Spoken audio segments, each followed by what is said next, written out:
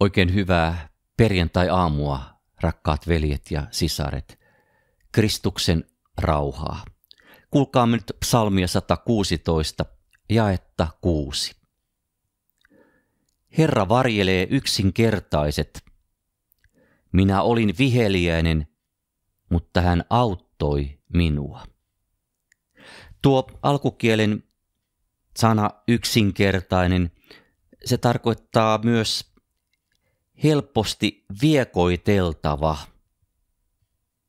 Eli sitähän se tarkoittaa, että me perisynnin takia olemme niin helposti kiusauksille alttiita, niin helposti eksyviä ja erehtyviä.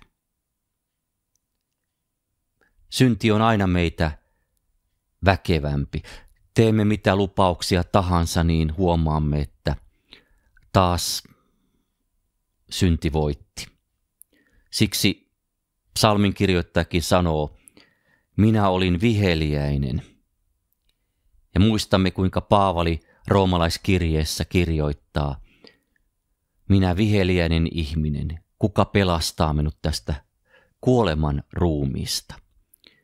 Kyllä uskovainen joutuu kilvoittamaan, kilvoittelemaan sen oman viheliäisyytensä kanssa sen oman periturmeluksensa ja langeneen sydämensä kanssa. Se ei ole yhtään kivaa, eikä se ole helppoa. Kyllä siinä monesti itseensä pettyy, mutta hyvä näin. Jeesukseen meidän ei koskaan tarvitse pettyä. Hän on juuri viheliäisten, kurien ja surkeiden pelastaja, vapahtaja.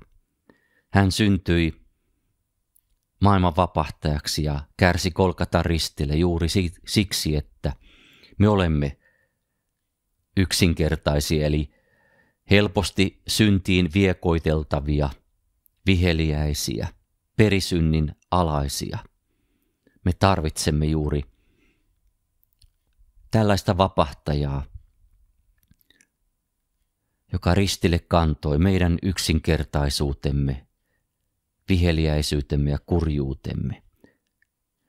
Paavali jatkaakin tuossa, mutta kiitos Jumalalle Jeesuksen Kristuksen kautta.